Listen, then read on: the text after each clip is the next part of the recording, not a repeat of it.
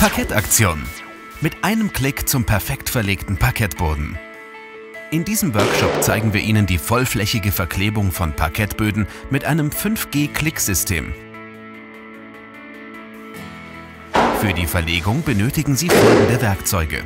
Eine Säge, Zugeisen, Maßband, Abstandskeile, einen weichen Gummihammer sowie Winkel und einen Bleistift.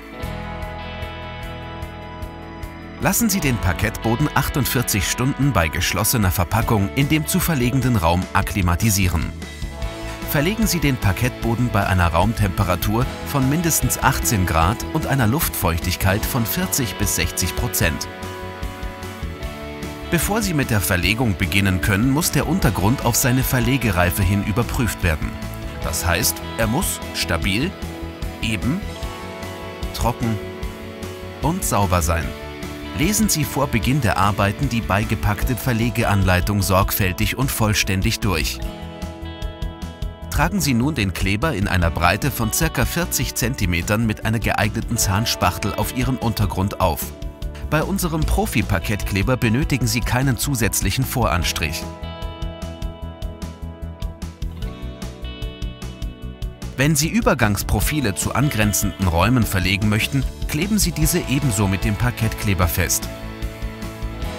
Nun kann die erste Diele in das Klebebett gelegt werden. Beginnen Sie in einer linken Raumecke und legen Sie die Diele so, dass die Nutseite zu Ihnen zeigt.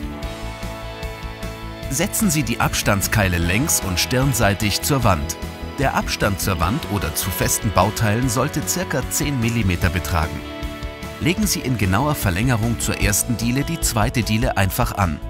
Mit einem Schlag auf die Stirnseite der zweiten Diele rastet das Klicksystem perfekt ein. Verwenden Sie hierzu einfach einen Gummihammer. Arbeiten Sie stets von links nach rechts. So verfahren Sie bis zur letzten Diele der ersten Reihe.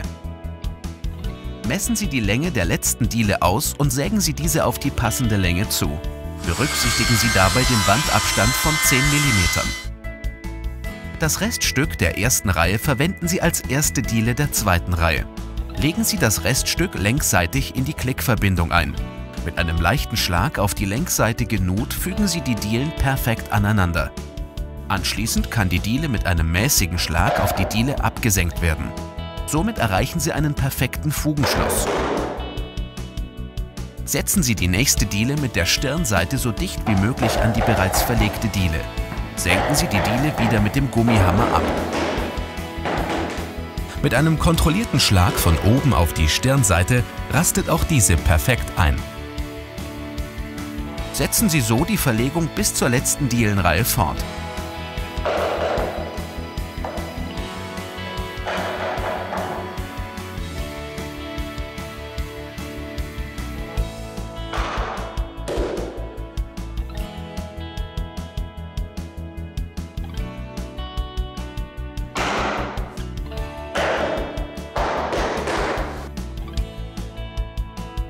Bei der letzten Dielenreihe angekommen. Legen Sie eine Diele auf die letzte verlegte Dielenreihe und übertragen Sie den Wandabstand mit einem Reststück auf diese Diele. Selbstverständlich können Sie die Breite der letzten Diele auch einfach ausmessen.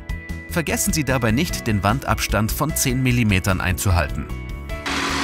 Anschließend sägen Sie die Diele auf die passende Breite zu. Winkeln Sie die Dielen der letzten Dielenreihe von oben ein und senken Sie diese mit einem Zugeisen ab. Nun noch ein mäßiger Schlag auf die stirnseitige Klickverbindung und die Verlegung ist geschafft. Lassen Sie dem Kleber nun circa einen Tag Zeit, um auszuhärten. Danach können Sie die Abstandskeile entfernen und Ihren Boden vollumfänglich nutzen. Zum Abschluss möchten wir uns für Ihr Interesse bedanken und würden uns freuen, Sie in unserem Online-Shop begrüßen zu dürfen. Abonnieren Sie unseren Kanal und bleiben Sie stets auf dem Laufenden. Machen Sie aus vier Wänden Ihr Zuhause. Wir unterstützen Sie dabei. Parkettaktion.com